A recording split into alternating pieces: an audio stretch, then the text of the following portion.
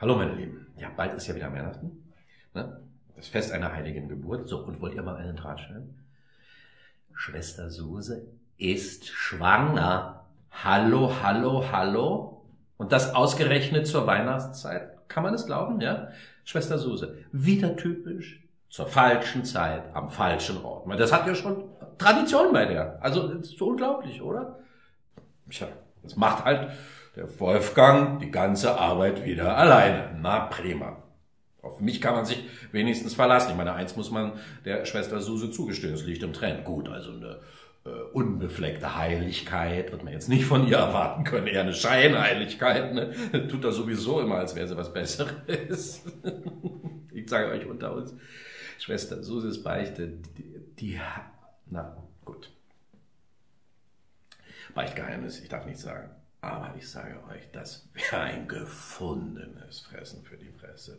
Kinderchen, Kinderchen. Ja gut, also schwanger geht ja sowieso nicht ohne Sünde ab, wenn man eine Betschwester sein will, nicht wahr? Also, hallo? Wir sprechen hier von Sex, ne?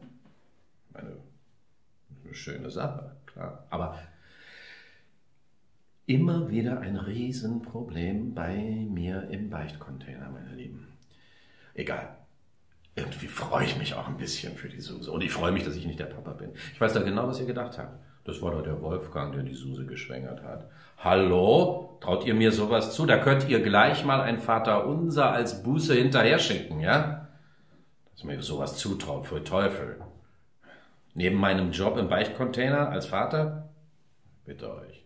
Und dann gibt's ja da noch den alten Haudegen in Rom, ne? Den Beni, und der ist ja schon ein bisschen störrisch mit dem Zölibat. Tja,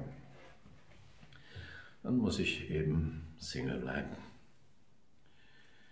Der einsame Wolf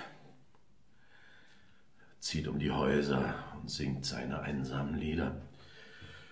Und wenn ihr mich buchen wollt, dann müsst ihr euch schon ein bisschen beeilen. Ne? Das Telefon klingelt ununterbrochen. Und bitte, Freunde, ja, also versucht nicht, mich als Krampus zu buchen. Das ist wirklich überhaupt nicht mein Typ. Das müsste man eigentlich von selber drauf kommen, ja. Aber ansonsten immer gerne. Liebe Sünder, meldet euch. Und äh, dann wünsche ich euch noch ein schönes Weihnachtsfest.